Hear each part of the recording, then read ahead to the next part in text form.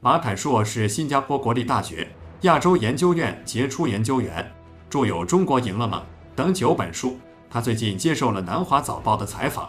南华早报问：“您曾预测美中之间的地缘政治竞争将加剧，并延续到下个十年之后。然而，美国总统国家安全事务助理杰克·沙利文刚刚访问了中国，这些交流是否表明情况正在好转？”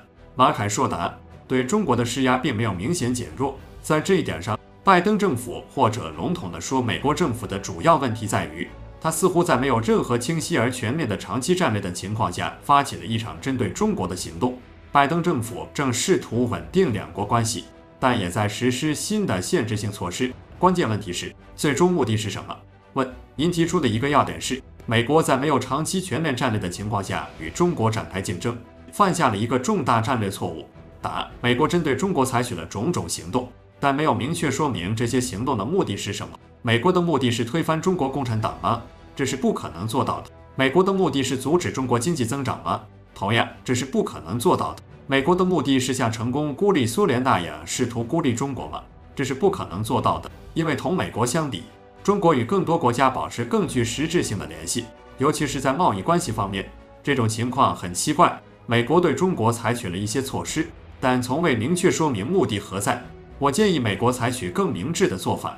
即使美国要在某些领域与中国竞争，它也应该阐明可以与中国合作的领域。美国需要决定什么对美国的长期利益而言是真正重要的，什么是他想要实现的，然后制定实现这些目标的途径和手段。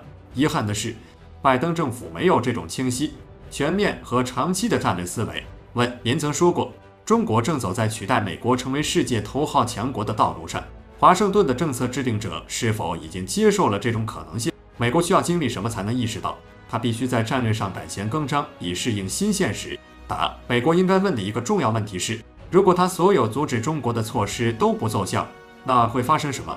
如果中国成为世界第一，我们想要一个什么样的世界？在那种情况下，美国应该如何与中国合作与竞争？我不明白为什么美国没有意识到支持多边主义将是约束而非遏制中国的最佳方式。